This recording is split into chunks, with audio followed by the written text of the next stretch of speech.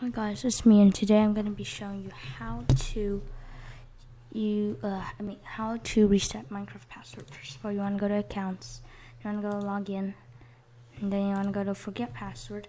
You want to request um, the email. Hi guys, that's me, and just a little notice.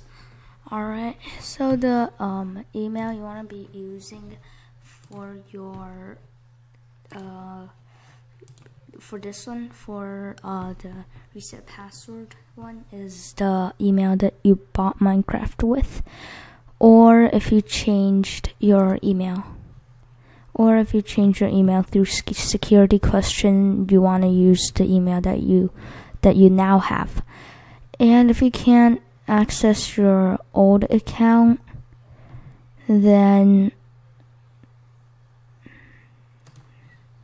you want to click the help page. And once you finish that, you want to click request password sent. And you want to go to your mail and then you want to click your password reset. So yeah, I'm going to do that. And what you want to do is to click this link. And then you can just reset your password. Okay, shoot.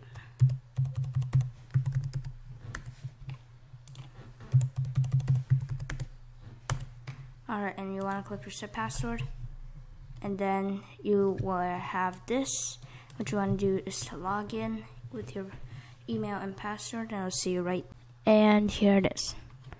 And there you could log into your launcher with your new account now.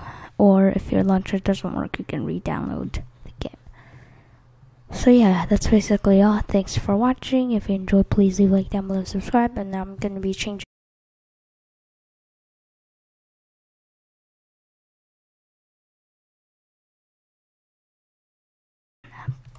Peace.